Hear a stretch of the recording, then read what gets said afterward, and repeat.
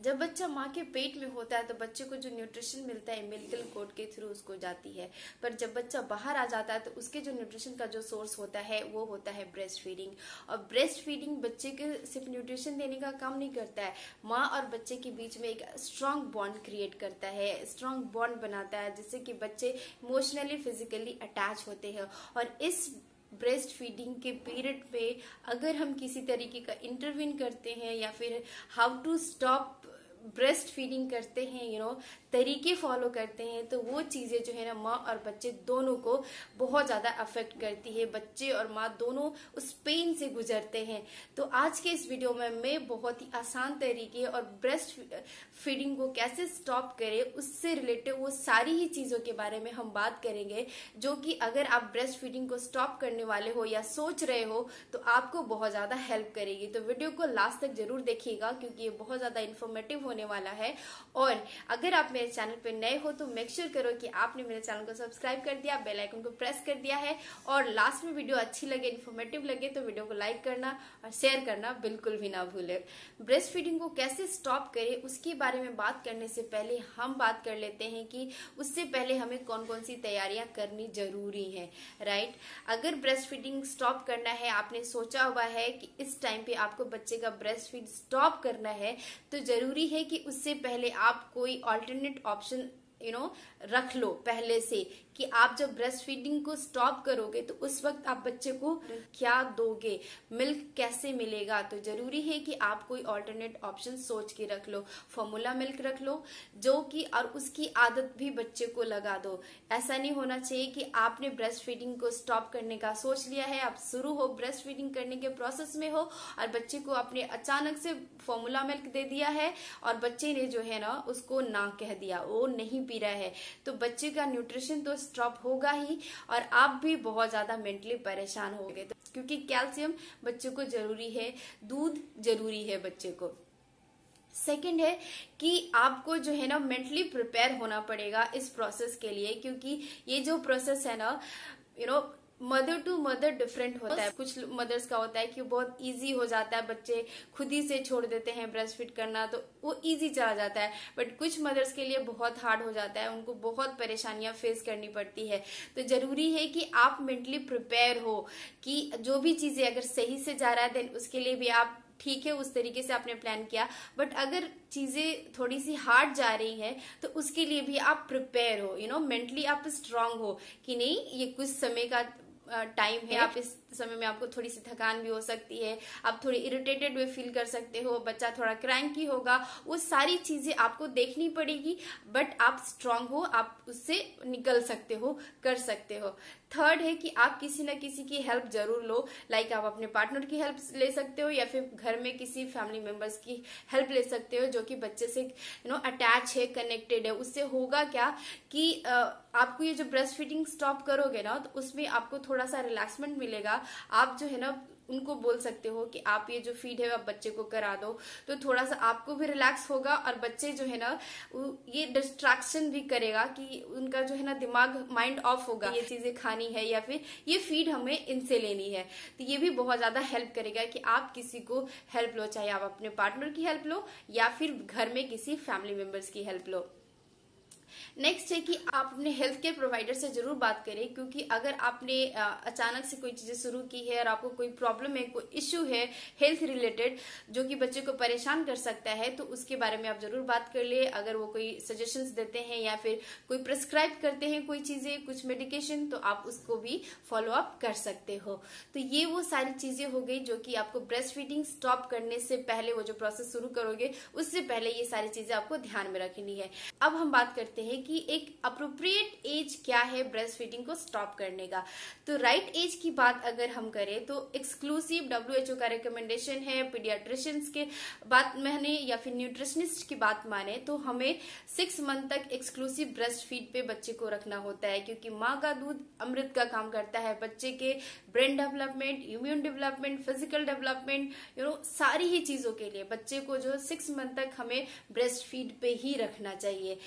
अब टू, हम two years तक हम कंटिन्यू कर सकते हैं। अगर आप हेल्दी हो, आपको किसी तरह की कोई प्रॉब्लम नहीं है, आप करा सकते हो टू इयर्स तक ब्रेस्ट फ़ीड देन इससे ज़्यादा अच्छा कुछ नहीं हो सकता। आपके लिए भी और बच्चे के लिए भी।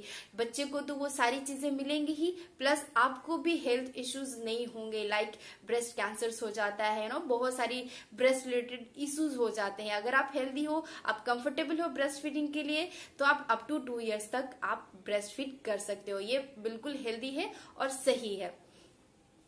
नेक्स्ट हम बात करते हैं कि रीजंस क्या क्या हो सकते हैं ब्रेस्ट फीडिंग को स्टॉप करने का। पहला जो रीजन ये हो सकता है कि आप एक वर्किंग मदर हो, आप फिर से वापस आप अपना वर्क ज्वाइन करने वाले हो बच्चे को छोड़कर तो उस केस में आप ब्रेस्ट फीडिंग को स्टॉप करने का सोच सकते हो। या फिर बच्चे की एज हो गई है लाइक टू एंड हाफ़ पे हम बच्चों को जो है प्ले स्कूल्स में किंडर गार्डन में भेजने लगते हैं तो हम उस वक्त हम ब्रेस्ट फीडिंग को स्टॉप करने का सोच सकते हैं। नेक्स्ट है कि अगर आप किसी तरीके का मेडिकेशन ले रहे हो किस तरह की दवाइयाँ ले रहे हो जो कि बच्चे को आपके ब्रेस्ट फ़ीड के द्वारा बच्चे के बॉडी में जाएगा जो कि अफेक्ट करेगा तो उस टाइम पे भी आप ये सोच सकते हो कि आपको ब्रेस्ट फीडिंग को स्टॉप करना है। नेक्स्ट है कि आप की बॉडी रेडी नहीं है आप इरिटेटेड फील कर रहे हो आप you know you know satisfied नहीं हो रहे हो कि आ, आपको अब ब्रेस्ट फ़ीड करना है तो उस केस में भी आप ब्रेस्ट फीडिंग स्टॉप करने का सोच सकते हो। नेक्स्ट है कि बच्चे का हंगर है, वो सेटिस्फाई नहीं हो रहा है। बच्चे का न्यूट्रिशन नहीं मिल रहा है। क्योंकि यू you नो know, आपका न्यूट्रिशन गलत है या फिर कुछ भी वजह है बच्चे सेटिस्फाई नहीं हो रहा है ब्रेस्ट फ़ीड से तो उस दौरान भी आप ब्रेस्ट फीडिंग स्टॉप करने का प्रोसेस जो है चालू कर सकते हो। तो ये वो सारी वजह हो सकती है ब्रेस्ट फीडिंग को स्टॉप करने का। कि ब्रेस्ट फीडिंग को स्टॉप करने का कॉन्सिक्वेंसेस क्या हो सकता है मदर मदर पे भी और बच्चे पे भी। तो पहली जो चीज़ है मैं बता दूँ कि ब्रेस्ट फीडिंग जो है स्टॉप करने का एक्सपीरियंस है मदर टू मदर डिफरेंट होता है। होता है, कुछ मदर्स का होता है कि बहुत स्मूथ हो गया, बच्चे ने खुद से ही ब्रेस्ट फ़ीड स्टॉप कर दिया। तो that was very good you know that was like miracle कि बच्चे ने खुद से ब्रेस्ट फ़ीड स्टॉप कर दिया। तो मदर भी हैप्पी बच्चा भी हैप्पी क्योंकि बच्चों को खुद ही इंटरेस्ट नहीं है। बट कुछ केसेस में क्या होता है कि यू नो बहुत पेनफुल हो जाता है। मदर्स के लिए भी, बच्चे के लिए भी। बच्चा क्राई करता है, आप मेंटली फिजिकली बहुत परेशान हो जाते हो। बहुत तरह के इश्यूज़ हो जाते हैं। लाइक like आपको ब्रेस्ट इंगॉर्जमेंट की प्रॉब्लम हो जाती है। यू नो मेस्टाइट्स की प्रॉब्लम हो जाती है। क्लॉक डक्ट की प्रॉब्लम हो जाती है। तो ये सारे इश्यूज़ के भी हो सकते हैं। हेल्थ रिस्क हो सकता है। चीज़ें होती है। तो कितनी प्रॉब्लम होती है। ब्रेस्ट इंगॉर्जमेंट अगर हो गया है तो ब्रेस्ट हैवी फील हो रहा है। यू नो आप जब ब्रेस्ट फीडिंग स्टॉप कर दी हो अचानक से तो आपके जो ब्रेस्ट है वो बहुत ज़्यादा हैवी फील करेगा। तो यू नो भरा भरा सा, क्योंकि बच्चे को आदत है ब्रेस्ट फ़ीड करने का। बट बच्चे ने अचानक से छोड़ दिया है ब्रेस्ट फ़ीड करना। यू you नो know, आप जैसे कि अगर आप न्यू मदर हो अगर आपने एक घंटे भी डिले किया है तो आपने फील किया होगा कि आपका जो ब्रेस्ट है बहुत ज़्यादा हैवी हो जाते हैं। राइट ना? तो ठीक वैसे ही अगर आप ब्रेस्ट फ़ीड कर रहे हो कंटिन्यू कर रहे हो और अचानक से आप ब्रेस्ट फ़ीड नहीं कर रहे हो तो आपको ये सारी प्रॉब्लम्स हो सकती है। ब्रेस्ट हैवीनेस फील हो सकता है ब्रेस्ट में दर्द हो सकता है। तो ज़रूरी है कि आप कुछ चीज़ें करो जिससे कि आपको इन सारी चीज़ों से रिलैक्समेंट हो सकता है। फ़र्स्ट आप ये कर सकते हो कि आप जो है ना स्लोली स्लोली एकदम हल्के हाथों से पंप करके थोड़ा थोड़ा मिल्क जो है ना, आप उसको प्रेस करके बाहर निकालते रहो। इससे होगा क्या कि वो जो बच्चा जो ब्रेस्ट फ़ीड करने की आदत है तो मिल्क तो वो बन ही रहा है ना, वो थोड़े स्टॉप हो गया है। अब मिल्क जो स्टॉप होने का, जब ब्रेस्ट फीडिंग आप स्टॉप करते हो, उसको मिल्क को सूखने में नो आठ से दस दिन तक, बारह दिन तक समय लगता है यू नो तो तब तक आपको जो है हल्के हल्के हाथों से ब्रेस्ट को प्रेस करके मिल्क को बाहर निकालते रहना है, ताकि आपको जो है ना हैवी ब्रेस्ट फील ना हो और आपको पेन ना हो। नेक्स्ट है कि आप जो है ब्रेस्ट को है ना हमेशा हल्के हाथों से मसाज करते रहो। उससे क्या होगा कि क्लॉक डक्ट हो जाते हैं नो थोड़ा सा हार्ड सा फील होता है तो ब्रेस्ट में इन्फेक्शन हो जाते हैं तो उससे भी थोड़ा सा आपको रिलैक्समेंट होगा, थोड़ा कंफर्ट आपको लगेगा। और थर्ड है कि आप जो है कोई पिल्स वगैरह ले सकते हो, जैसे कि होता है, अगर आप अपने डॉक्टर से बात करोगे तो वो कुछ पिल्स वगैरह कॉन्ट्रासेप्टिव पिल्स वगैरह आपको देते हैं तो वो थोड़ा सा आपको हेल्प कर सकता है। तो ये वो सारी चीज़ें जो कॉन्सिक्वेंसेज होने थे, आप उससे कैसे रिलीज़ हो सकते हो, ये वो सारी चीज़ें हो गई बात करना। ठीक है? मेथड कौन कौन से होते हैं, जिससे कि हम ब्रेस्ट फीडिंग को रोकने की कोशिश करते हैं राइट तो पहला होता है बेबी लेट वीनिंग होता है। तो बेबी लेट वीनिंग में क्या होता है कि बच्चा जो है ना, खुद ही वो चीज़ें बताता है कि अब उसको ब्रेस्ट फ़ीड में कोई इंटरेस्ट नहीं है, बच्चा वो है ना ब्रेस्ट फ़ीड करना ही नहीं चाहता है। तो वो उस तरीके का सिग्नल्स आपको खुद ही देगा। तो आपको जो है ना वो चीज़ें समझनी पड़ेंगी कि आपका बच्चे का आपको खुद ही लगेगा, आप खुद ही नोटिस करोगे कि बच्चे को इंटरेस्ट ही नहीं रह गया है कि वो ब्रेस्ट फ़ीड करे। तो दैट इज़ वेरी गुड तो वो हो गया बेबी लेड वीनिंग जिसमें कि बच्चे ने खुद ही इंडिकेशन दिया कि उसको ब्रेस्ट फ़ीड नहीं करना है। नेक्स्ट है mother led weaning mother led weaning में क्या होता है कि आप वो सारी चीज़ें करते हो जिससे कि बच्चे को जो है ना आप ब्रेस्ट फीडिंग स्टॉप करा सको। उसमें आप उसमें बहुत सारे टिप्स एंड ट्रिक्स आप फॉलो करते हो।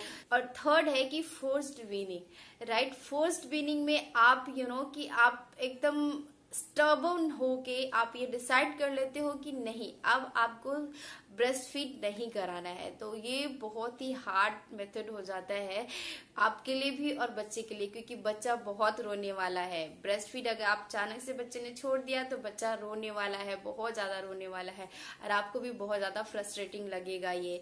राइट तो ये हो गए मेथड्स जो कि हो गया यू नो जो हम फॉलो करते हैं ब्रेस्ट फीडिंग को स्टॉप करने का।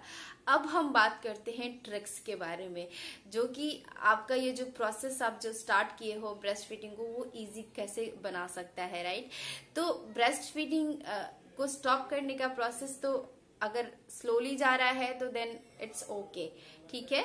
जिसमें हम स्लोली स्लोली सारी चीज़ें जा रही हैं तो वो चीज़ें प्रॉब्लम नहीं करती हैं। दोनों चीज़, दोनों का माइंडसेट जो है ना, उसी हिसाब से चलता है। बट अचानक से कोई इंटरवीन हो जाना, अचानक से कोई इंटरफेरेंस होना उस चीज़ में तो थोड़ा डिस्टर्बिंग होता है राइट जैसे कि मैंने बोला।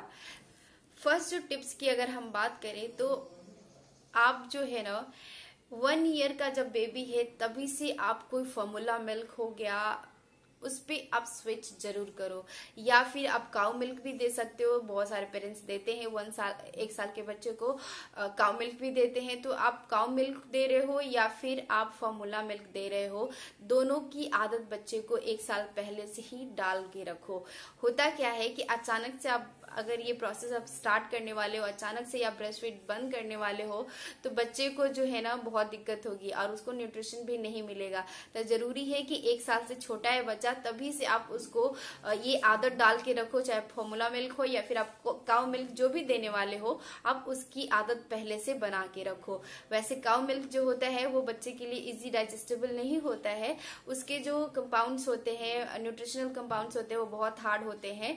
तो ज़रूरी है कि हम फॉर्मूला मिल्क दे बच्चों को तो वो ज़्यादा बेटर होता है राइट सेकेंड टिप्स है कि आप जो है बच्चों को बॉटल को रिप्लेस करके सिपी कप्स को देना स्टार्ट करो। क्योंकि जैसे जैसे बच्चे बड़े होते हैं ना तो उनकी अंडरस्टैंडिंग बढ़ जाती है। वो चीज़ों को समझने लगते हैं, वो अपने कंफर्ट जोन में जाने लगते हैं। तो ज़रूरी है कि हम बॉटल को रिप्लेस करके सिपी कप्स में सिपी कप्स दे, जिसको कि दोनों साइड हैंडल होता है। बच्चे उसको खुद से पी सके, खुद से अपने आप को सेल्फ फ़ीड कर सके।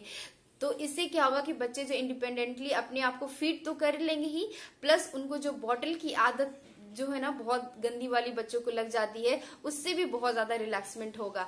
तो ज़रूरी है कि आप जो है बॉटल को चेंज करके आप सिपी कप बच्चे को दो। जैसे जैसे बच्चा बड़ा हो रहा है, उस हिसाब से आप बॉटल से सिपी कप पे स्विच करो। टिप है प्योरिंग फ़ूड यू नो कहने का मतलब है सिक्स मंथ के बाद हम बच्चे को जो फ़ूड देते हैं, वो प्योरी फॉर्म में ही देते हैं। बच्चे को जितना प्योरी फॉर्म में सारी, चाहे फ्रूट हो वेजिटेबल्स हो, दालें हो, हम जितना एकदम प्योरी बना के देते हैं, एकदम स्मूथ सा पेस्ट बनाकर देते हैं, उतना ही बच्चों के लिए इजी डाइजेस्टेबल होता है प्लस बच्चे को उसको स्वेलो करने में भी इजी होता है। तो ज़रूरी है कि आप बच्चे को जो भी फ़ूड दे रहे हो, वो प्योरी फॉर्म में ही दो, जितना ज़्यादा हो सके, ताकि वो स्मूथ है, बच्चे ने इजी से खा लिया और उसको टमी में जाके जाके इजी डाइजेस्ट हो गया और उसको वो न्यूट्रिशमेंट भी मिल गया। नेक्स्ट टिप है कि आप जो भी फ़ूड बच्चे को दे रहे हो या फिर प्योरी फॉर्म में दे रहे हो तो उसमें आप ये कोशिश करो, कोशिश क्या आपको करना ही है।